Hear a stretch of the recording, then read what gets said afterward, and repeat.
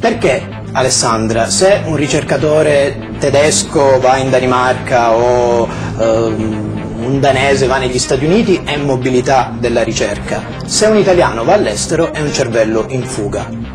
Beh, fondamentalmente la risposta più semplice e più immediata è che attualmente questo flusso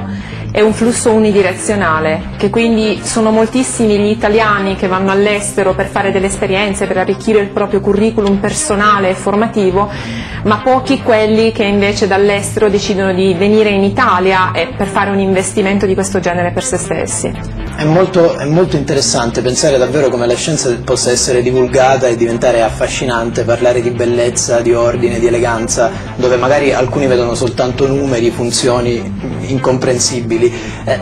queste sono eh, in un certo senso le eccellenze di cui, di cui, parlavamo, cioè quel progetto che andrebbe valorizzato, la possibilità eh, per molti di, di, studiare. Io quando ho contattato il progetto Rena eh, ho parlato con varie persone che si sono premurate di spiegarmi una cosa, mi hanno detto noi non siamo un gruppo di cervelloni, siamo un gruppo di proposte, eh, lavoriamo su questo, per noi l'eccellenza è un progetto. Mi puoi spiegare brevemente che cosa, che cosa vuol dire? Sì, l'Arena la, è nata dalla, da un gruppetto di amici che si sono seduti attorno a diversi tavolini un po' qua e là per l'Europa e che eh, avevano più o meno fatto delle esperienze tutti eh, di un tempo limitato all'estero che avevano deciso di ritornare più o meno consapevolmente di ritornare in Italia o di rimanere all'estero ma mantenendo un legame con l'Italia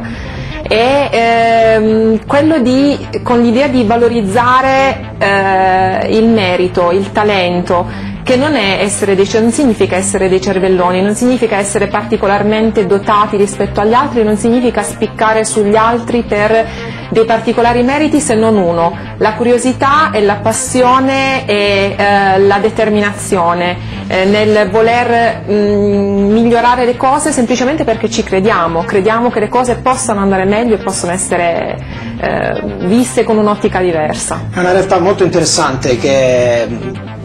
nonostante sia molto giovane come i, come i, i membri che la, che la compongono, speriamo che possa avere delle prospettive di sviluppo molto lunghe.